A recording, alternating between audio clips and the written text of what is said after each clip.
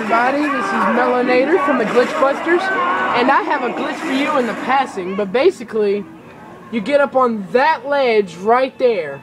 I don't know how I did it. I was playing versus survival with my friends Ebil Bacon,